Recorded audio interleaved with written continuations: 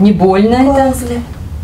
Деревянный стетоскоп студент пятого курса медицинского японского колледжа держит в руках впервые. Неизвестный доселе заграничному практиканту инструмент русские врачи предпочитают всем современным аппаратам. Через него лучше всего прослушивается сердцебиение ребенка. В японском же колледже, где учится будущий нейрохирург Джумы Джикаван, студентам ни разу не приходилось пальпировать беременную женщину. Нет, нет, нет. В японском колледже, где получают образование эти трое ребят, все обучение проходит на манекенах. Несмотря на современное аппаратное оснащение японских больниц, студентам порой не хватает тактильных ощущений.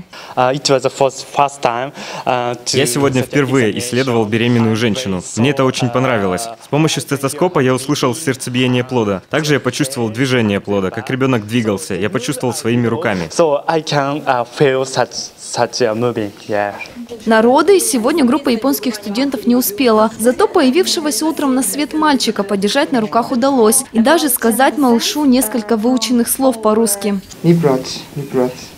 Сегодня у японских студентов был последний день обучения в акушерском отделении. Впереди еще три дня практики в хирургии и столько же в терапии. 8 числа они уедут на родину, набравшись русского врачебного опыта. Самое большое отличие российской медицины от зарубежной, в частности акушерство и гинекология, что нам там сказали, что вот в этом здании женщины рожают.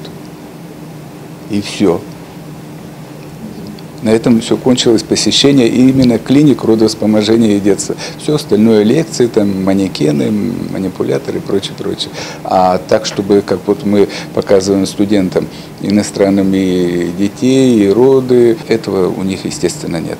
На память японским студентам врачи Амурского перинатального центра подарили так удививший их стетоскоп. По словам наших светил, незатейливый аппарат пригодится ребятам, какое бы направление медицины они не выбрали.